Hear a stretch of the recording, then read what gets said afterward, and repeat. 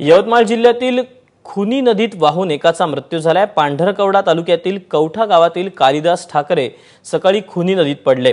त्यांचा शोध घेण्याचं काम पंधरा जवानांचं शोधपथक करत आहे नदी ओलांडताना कालिदास ठाकरे यांचा तोल जाऊन नदीत पडल्याची माहिती मिळते तरी तहसीलदार सुरेश कव्हाळे घटनास्थळी दाखल झाले असून घटनेचा अधिक तपास करून शोधही घेत आहेत.